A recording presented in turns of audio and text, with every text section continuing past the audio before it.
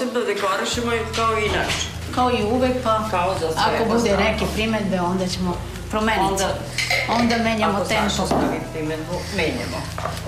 Sipamo malo ulja. Samo nek mi kaže nešto.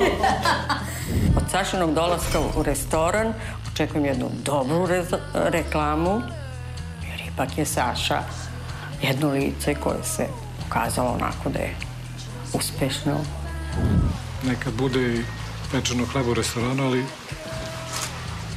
uglavnom se Au, bate, masna proja čoveče. Masna proja. I ovo je vidlo bolje vremena. Da. Malo više oksidacije i prljaštine zarđala. Evo, sami procenite. jeste.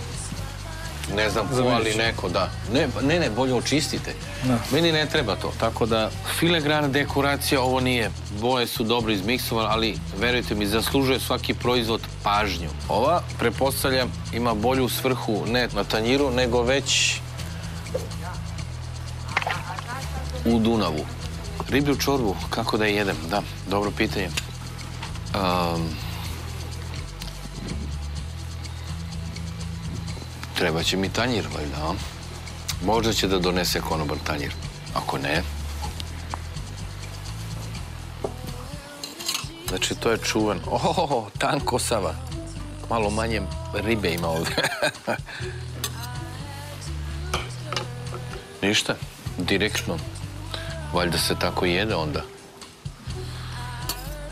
Au, dosta je masna. I naravno puna, znate već kojeg začina. Ima ljutine, ali začin kolje sve. Šteta.